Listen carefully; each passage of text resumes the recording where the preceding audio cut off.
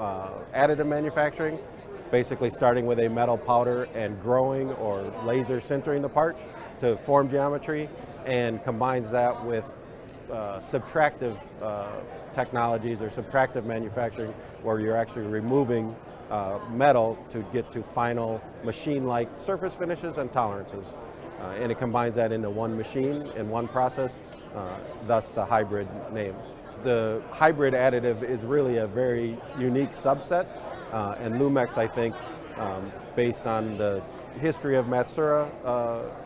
organization being a very high-end milling company, uh, and combining that with the powder bed fusion system that we have on the Lumex, it really gives our potential customers uh, unique opportunities to make very fine detail, uh, and use the parts directly as they come off the, uh, of our machine without a bunch of post-processing, without different uh, material treatments, uh, and really addresses three very uh, big problems uh, that most manufacturers today have. Skilled labor, unattended machining or unattended operation,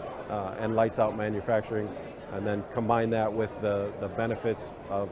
uh, creating porous structures and conformal cooling, which can only be done using additive manufacturing, really gives the uh, customer uh, another tool in their toolbox to uh, service uh, their end use uh, customers, making their value significant in the market. Certainly the most publicized application for hybrid additive manufacturing is employing conformal cooling or really thermal control on an injection mold significant cost savings, significant cycle time savings are achieved uh, with really minimal or no uh, added cost uh, to the component uh, that you're addressing. Um, some of the unrealized or underutilized uh, technologies, um, especially with liquid silicone molding or very deep rib uh, molding or real technical molding is employing integrated venting solution using porous media or porous structures uh, which act just like real metal, but allow the, the gas or the, the venting uh, to occur uh, pretty much anywhere you want it, um, and really reducing the overall costs of uh, the produced uh, mold and the part. Improving part quality,